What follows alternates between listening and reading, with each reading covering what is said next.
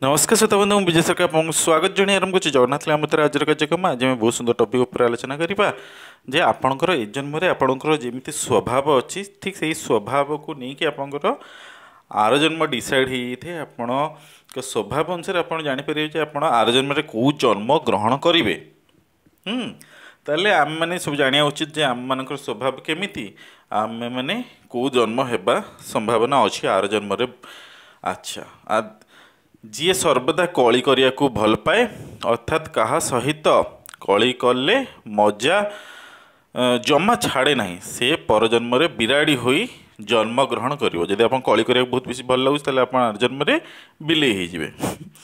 ଯିଏ ବିନା କାରଣରେ ସବୁବେଳେ ରାଉ ରାଉ ହୁଏ ଆଡ଼ ବୟା ପରି ହୁଏ ସେ ପରଜନ୍ମରେ କାଉ ଜନ୍ମ ଲାଭ କରିବ।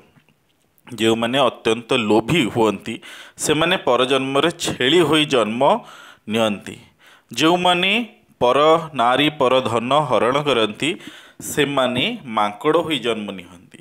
ଯେଉଁମାନେ ଅଖାଦ୍ୟକୁ ଭୋଜନ କରନ୍ତି ସେମାନେ ଘୁଷୁରି ହୋଇ ଜନ୍ମଗ୍ରହଣ କରନ୍ତି।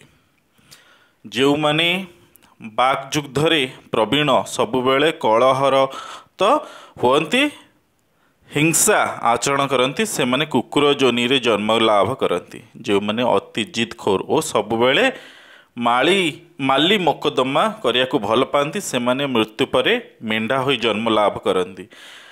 ଯିଏ ବିନା ଦୋଷରେ ଅନ୍ୟକୁ ଦଣ୍ଡ ଦିଏ ସିଏ ସର୍ବଦା ଫଁ ଫଁ ହୁଏ ସେ ପରଜନ୍ମରେ ସର୍ପଜୋନିରେ ଜନ୍ମଗ୍ରହଣ କରେ। ଯିଏ ପିତାମାତା ଗୁରୁ ଗୁରୁଜନଙ୍କୁ କୁଭାଷା କହେ ସେ ପରଜନ୍ମରେ ମୂକ ହୁଏ। ଯେଉଁମାନେ ସ୍ୱଜାତିକୁ ଦେଖି ସହିପାରନ୍ତି ନାହିଁ ପରସ୍ପର